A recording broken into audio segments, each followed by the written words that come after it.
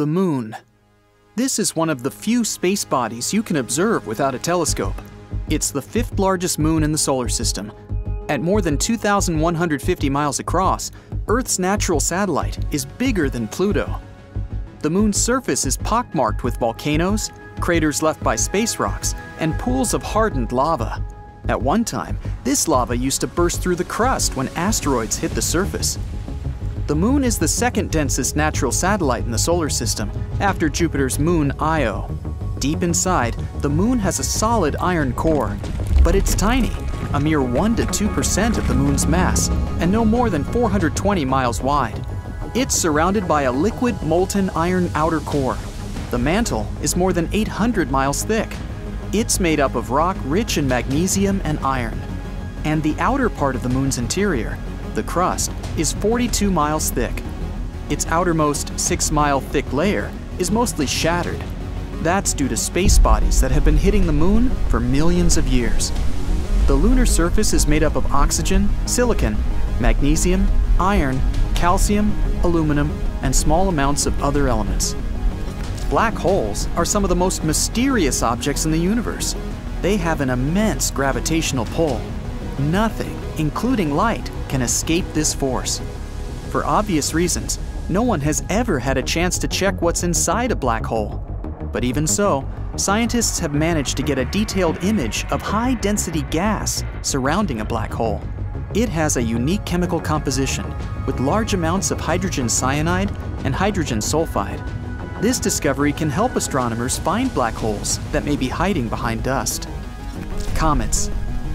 Nicknamed dirty snowballs, comets are icy space bodies that release dust or gas. Astronomers believe they're leftovers from the substance forming the solar system more than 4.5 billion years ago.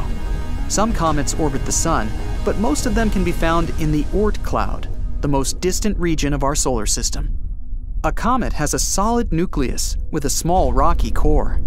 The nucleus, which can be up to 10 miles wide, is made up of ice and dust and coated with dark organic material. This ice consists not only of frozen water, but also of frozen gases such as carbon dioxide, carbon monoxide, ammonia, and methane. Some comets may contain more ice or rock, while others have more dust. Once a comet comes closer to the Sun, its icy part starts to turn into gas. This cloud is called a coma. It can be 1 million miles wide and up to 100 million miles long. Comet tails are formed by solar winds and sunlight. That's why they always point away from the sun. Asteroids. These irregular space rocks vary in size and can be as tiny as boulders or as large as football fields. They're solid, rocky remains of the disk of gas and dust that surrounded the young sun 4.5 billion years ago. Asteroids are made up mainly of rock or clay and silicates mixed with metal, like iron and nickel. Its composition depends on how close the asteroid is to the sun. If the distance is small, then it's mostly carbon with tiny amounts of oxygen, hydrogen, and nitrogen. Asteroids that are further away consist of silicate rock. Metallic asteroids are made of 80% iron and 20% other metals like gold, magnesium, platinum, palladium, and nickel. Meteoroids. These objects are mostly formed when asteroids collide with each other. There are also micrometeoroids, which are super common throughout the solar system. Meteoroids are made of silicon and oxygen. Some of them contain metals, like nickel and iron. Such meteoroids are dense and more massive.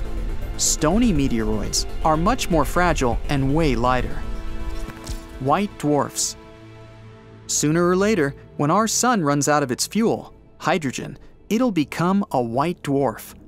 Once a star expels almost all its outer material, only its hot core remains, and its temperature reaches 180,000 degrees Fahrenheit. After that, a white dwarf starts to cool down. This process goes on for the next several billion years. Paradoxically, the more massive a star is, the smaller its size. Inside a white dwarf, gravity squeezes the matter so tightly that electrons making up the star's atoms get smashed together. This process goes on until there's no free space to be taken up, That's why a teaspoon of the white dwarf's matter weighs more than 5 tons, as much as an elephant. Astronomers think white dwarfs might have a crust no wider than 30 miles below the star's atmosphere. The bottom part of this crust is likely a crystalline layer of oxygen and carbon atoms. Gas giants. Unlike rocky planets with metals and silicate materials in their composition, gas giants mainly consist of gases. That's why they're usually much larger than their terrestrial mates. Saturn and Jupiter are the most famous gas giants in the solar system. At the center of a gas giant, there's either a molten ball of solid or liquid rock, or a metallic core. Without it, a gas giant can't form. But the main parts of the planet's mass are gases surrounding the core. They can be different, but the most common are hydrogen and helium, with some traces of methane, ammonia, and water. Gas giants don't have any solid surface, their atmosphere just gets less and less dense the further it is from the core. Somewhere along the way, it might even become liquid. Pulsar. This spherical object is usually the size of a large city, but has more mass than our sun. Pulsars often look like flickering stars, on and off, on and off. Their blinking seems to have regular intervals, but in reality, pulsars don't flicker. This space body is a rotating neutron star with a mega strong magnetic field. It can be up to a million billion times more powerful than Earth's. This magnetic field sends streams of particles along its two magnetic poles. They create two powerful beams of light shining in opposite directions.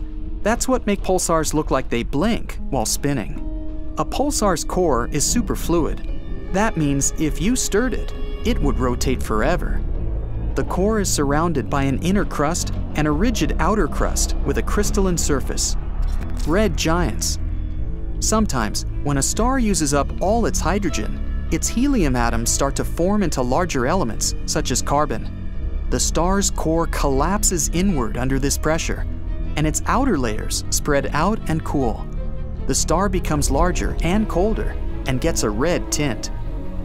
The thing is that when a star's outer layers cave in under gravity, they heat up.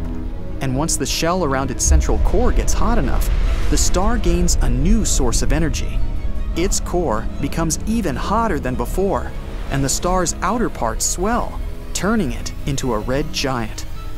In the heart of the star, there's a central core that consists of iron, while a layer made up of nitrogen, oxygen, and carbon surrounds this core. Then, there's a helium shell and an outer hydrogen mantle.